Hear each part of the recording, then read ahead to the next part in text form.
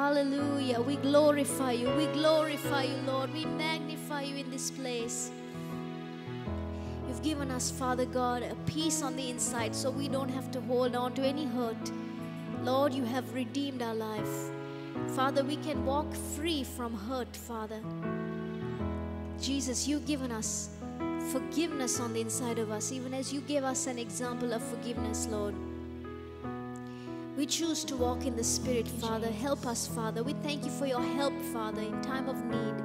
We can draw near, Lord, to your throne of grace and find that mercy and the help that we need. We come to you, Father. We look to you, Lord Jesus. We look to you, Father. Thank you, Lord God Almighty. Thank you, Father, for the restoration in our lives. Father, you are able to restore, Father, everything that the enemy has stolen. You restore it unto us, Father. Thank you for your restoration, Father. Thank you for the wonders, the signs, and the wonders that follow us, God, even as we believe. You've promised us, Father, that even as we as we are believers, that these signs and these wonders shall follow them that believe. In your name, Father, we have authority to cast out demons. We have authority over sickness. We have authority over every circumstance. We thank you, Heavenly Father. We worship you. We magnify you. We magnify you. Hallelujah, hallelujah. Oh, we love you, Jesus. We love you, Jesus. We love you, Jesus. Bless the Lord, oh my soul. Forget not all his benefits. Thank you for your benefits, Lord. Thank you for redeeming our life. You've saved us, Father, brought us out of darkness to your light. Oh God, you've given us a new name. We honor you, Jesus. We honor you, Lord. We honor you, Father. Thank you, Lord. We worship you. Oh, Father, we thank you. Thank you for restoration. Thank you, Jesus. Thank you for restoring the joy of our salvation. So, Lord, every day as we wake up, we have a joy to be alive, joy knowing that you have saved us, Father, and given us an eternal life. Thank you for the joy that you've restored to us. We worship you, we honor you, Jesus. We give you our highest praise, Father. We give you all our praise. Hallelujah. Thank you, Father. Hallelujah. It's a good thing to praise the Lord. It's a good thing to know that God inhabits our praises. And it's a good thing to know that God has made us sons and daughters of the Most High. He has seated us together with Him in heavenly places. He took us out of the miry clay, the position that we were in, the darkness, and He has elevated us and He has promoted us into His kingdom. God is a God of wonders. Be encouraged today that just the same way that God parted the Red Sea, even as Moses, he stretched out his hand and he parted the Red Sea, that the same God is able to open doors for you that no man can shut. Hallelujah. That's the God that we serve, a God who is able to do wonders. Ephesians 3:20 says, "Now unto him that is able to do exceeding abundantly, more than we could ask, think or imagine, according to the power that is working in us." We're going to rise up into our feet and we're going to start praising this Lord of wonders. The God who inhabits our praises, the God who is able to do more than we can even imagine. That's the kind of God that we serve. Aren't you thankful that we serve a God who does wonders?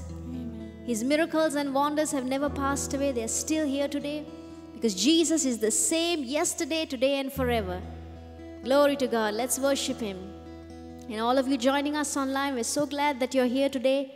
We believe that today you will be encouraged and you will be strengthened, and that the Lord will begin to speak to you and move in your heart, and that you will begin to say, Yes, Father, I believe you are the God who opens doors that no man can shut.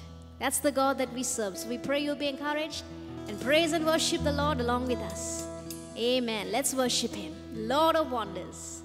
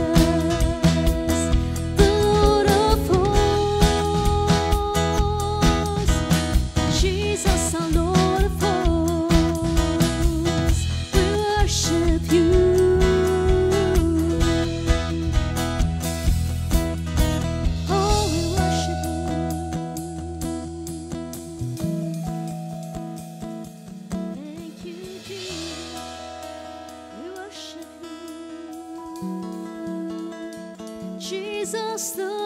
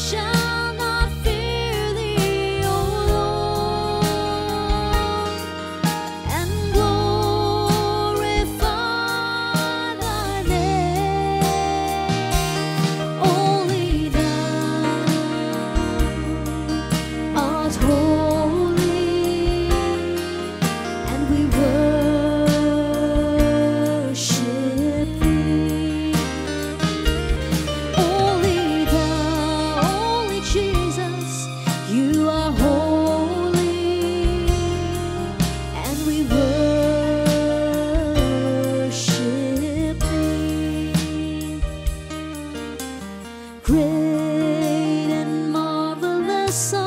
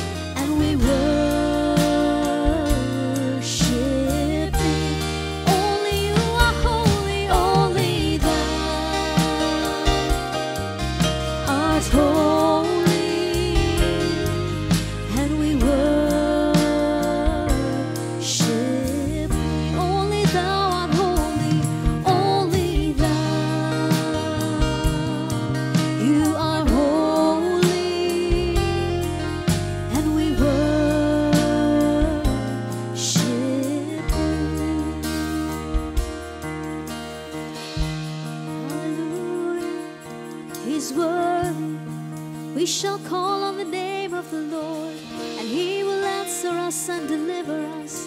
He's my deliverer, my shelter, my fortress. Thank you, Father, for delivering us. Thank you, Lord, for your angels that protect us, watching over us, Father, in ways that we go, when we come in, when we go out. We know, Father, that you have given us angels to protect us from all evil and danger that is in the world. We claim your promise, Father, that you watch over us. And even, Father God, when we walk through the valley of the shadow of death, we know we will not fear any evil. For we know, God, that you will go before us. Your rod and your staff, they comfort us. Thank you, Father. There is nothing that we need to fear. There is no fear in love. The word says in 1 John 4, if you read that chapter, there's so much of hope that you get to be free from fear. Perfect love casts out all fear because fear has torment. We see that the enemy he comes to steal, kill, and destroy. He brings, he always plants a seed, he plants a thought. And if we let that fear or whatever thoughts the enemy brings sit in our mind, it will start to grow and we'll start to meditate on it. And pretty soon that's what we become. But the word gives us this promise that perfect love casts out every fear. Every fear that is in the world, every virus that is in the world, every anxiety, every situation that comes up against us, we don't need to fear it. There is no fear in His love. Just begin to meditate on that. No fear in God's love. Thank you, Lord. There's no fear in your love. Thank you for watching over us, Father. We lift up our eyes to you, Lord. Thank you, God. We lift up our eyes to you. We lift our eyes to you.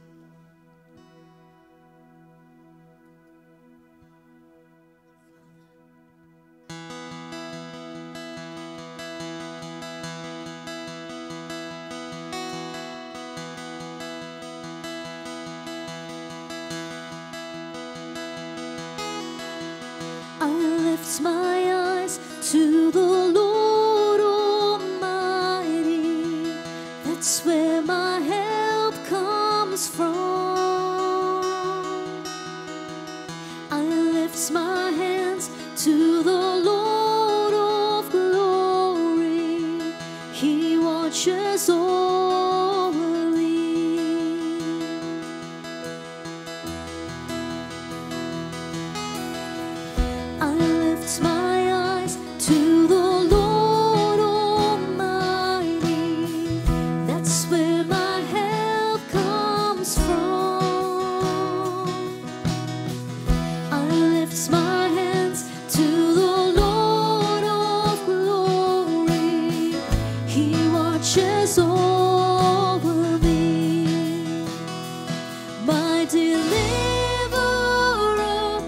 strong.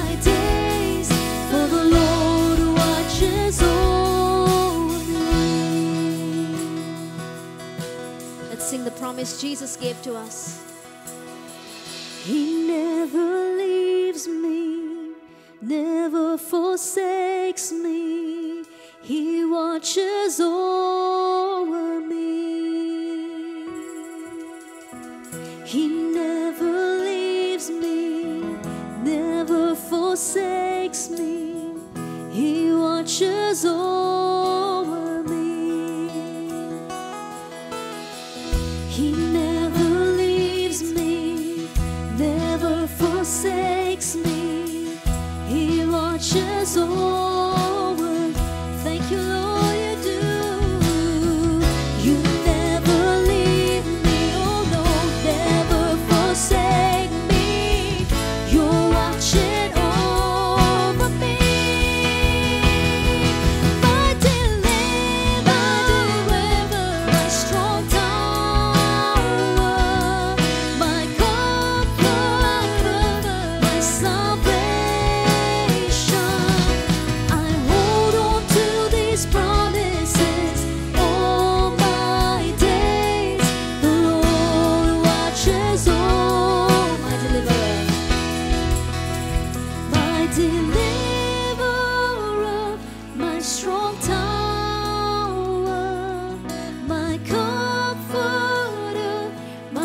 Salvation.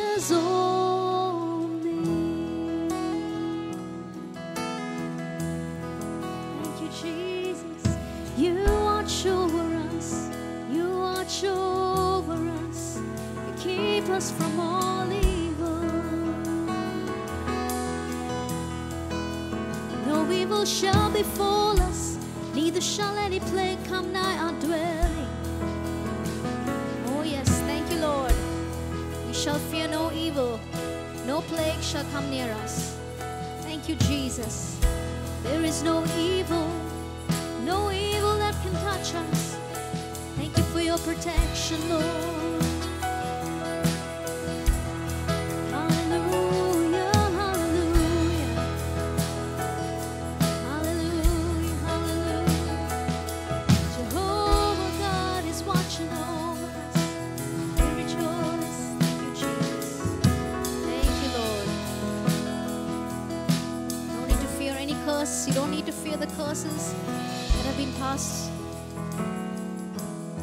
Christ has redeemed us from the curse, so we don't need to be afraid of curses, words that have been spoken. You have authority over it by the blood of Jesus. To command any kind of evil, any situation has to come under your feet. Jesus didn't say to talk about the mountain, he said to command the mountain to be removed. And the words he said is, It shall obey you. One of those keys in that verse is to not doubt in your heart when you speak. When you command a mountain or a situation, you got to say, No, I'm not going to give in to doubt in my heart. Jesus said, We will have whatsoever we say. So we can command situations. If it's confusion, any kind of evil, those are mountains that try to come and stand in front of us. But we got to say to those mountains, Be removed and cast into the sea in the name of Jesus, and it shall obey you. If you're facing a situation right now, and those of you watching us, you speak to those mountains. We don't have to beg God and get God to plead and try to move situations. We say, In Jesus' name, mountain, be removed. Confusion, be removed in the name of Jesus. And it shall be removed. And refuse to doubt in your heart. Refuse to say, Well, it might work, well, it might not. But say, In the name of Jesus, I believe whatsoever I say, I shall have it. Thank you, Father. We speak to mountains to be removed in Jesus' name right now. Thank you, Father, for the healing power of God that is removing situations, deadly situations. We command cancer, situations of cancer right now be removed in Jesus' name. God is healing you right now from the top of your head to the sole of your feet. Those cancer cells have to be removed in Jesus' name. Don't believe the lie of the enemy that somehow at some age you will get that.